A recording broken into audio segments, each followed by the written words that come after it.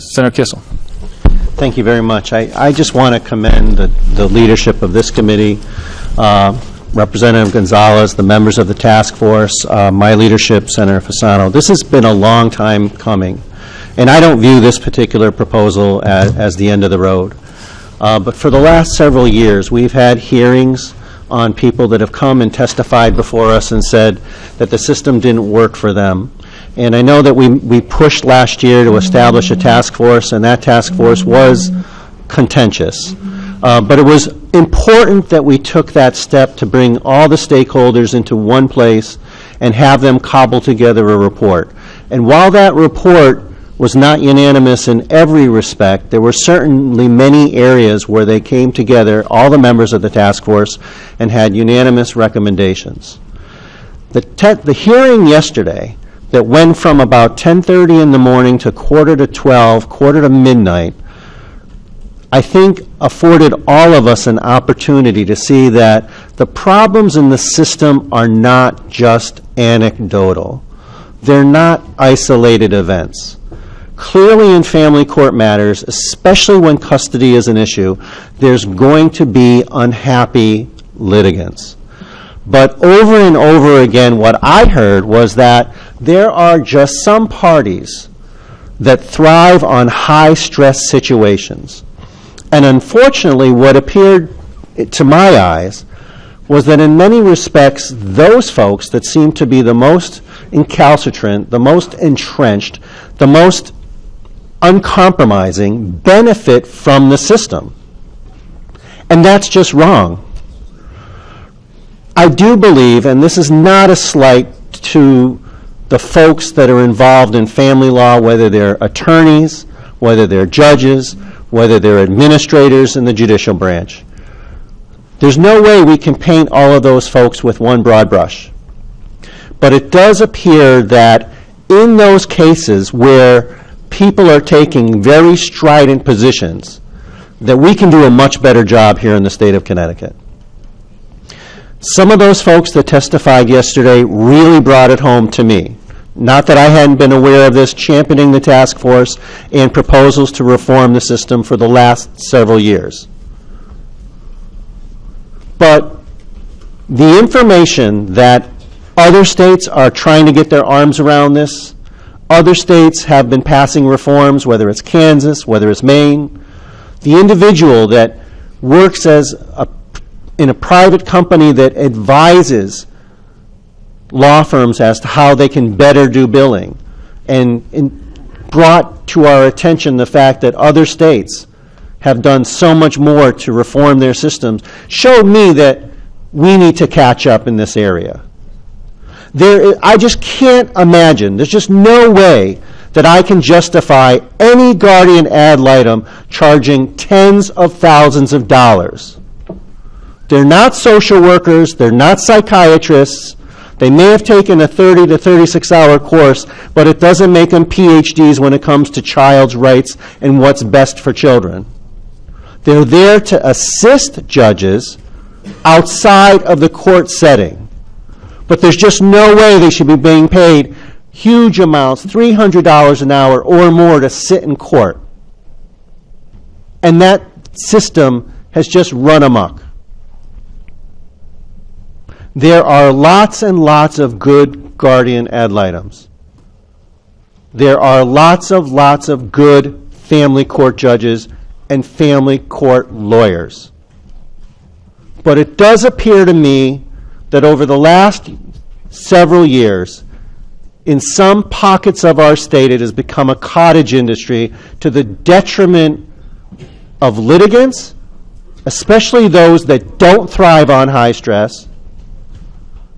But most importantly, it has harmed the children. There's just no way I can believe that forcing people into bankruptcy or foreclosure or wiping out college funds is in any way beneficial to the minor children in a custody fight. There's just no rational basis for this. And I don't care if the Gold Coast of Connecticut is replete with wealthy individuals. That doesn't mean that something that can be done for $5,000 in North Central Connecticut should cost $500,000 down in the Gold Coast. That's just not fair to people. It needs to be rationalized. It needs to be brought under control. The parts of this bill that I wish would go further is I do believe that guardian ad litems need a boss, need someone that they can report to and that will hold them accountable. I think this is a great first step. I think it gets us way farther down the road in a short session than I ever thought that we would get. No two ways about it. If you can say that someone is not following code of conduct and ethical standards, then you will have grounds to challenge their behavior. And putting judges in a position where they're going to set up the rules and put up the parameters and hold folks accountable for their billing is a great step forward. But I do see that in a contentious custody battle, in particular, where one party or another or both are being extraordinarily unreasonable, that there may be some downside to one party or the other raising these issues. We heard time and time again yesterday that people are fearful of having payback. That if they raise questions about bills, that somehow things are not going to be recommended in their favor. And that's a reality. That's why I think other states are way ahead of us when they establish some sort of overarching commission or authority to review these matters in an objective s- process. We're not there yet. We searched for areas to place guardians ad litem in this entire situation, and we couldn't find a place right now to put that authority. And I think we're going to have to, at some point, get our arms around that. But I think that we're kidding ourselves if they, we think that this is just an aberration with a few disgruntled individuals. I didn't see that.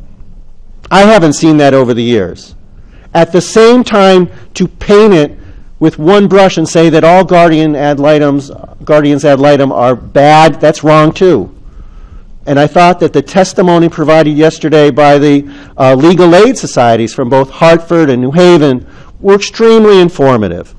They don't really have a big dog in the fight because they have a system where it's being funded through government stipends and then th- they have other provisions through the Children's Law Center. They get supplemented with grants and things like that. They offered some really good insights as to how we can make the law even better. And I don't think that we're all the way there yet, but we're far further down this road than I thought we would ever get. So for those of you, my colleagues, that feel that the system's broken, I agree wholeheartedly. For those folks who came here and waited for hours and hours and hours to testify yesterday, I agree with your concerns. For those guardians ad litem from my district and, and the rest of the state that have contacted me, and the family court lawyers, and the members of the bar, and the judges, I also see your side of the story. But at the end of the day, there's just no two ways about it. We can do much better. And if there's one area in our in jurisprudence where you know we hear time and time again, people's worst times are when they're in the court system. Nine out of ten folks don't want to be there, and it's not the highlight of their life. But when you're fighting over your child, and there are no allegations of neglect or abuse, then I think we need to take a step back. We need to take a step back and recognize that there were some suggestions made as to joint custody and you know the presumption that parents have a right to be parents and we need to move from that paradigm rather than soon as a guardian ad litem lands into the scene that now everybody's got to jump through a million hoops at $300 an hour so that they can just reacquire the rights that they had when their child was born I really think that maybe we need to move into the 21st century at a much more rapid rate. We can do better in Connecticut. But I commend the leadership of this committee and all the other folks, my ranking member Rosa Rebimbas, and again, all the others for working so hard on this issue. Vice chairs as well. It's not easy. Thank you, Mr. Chairman.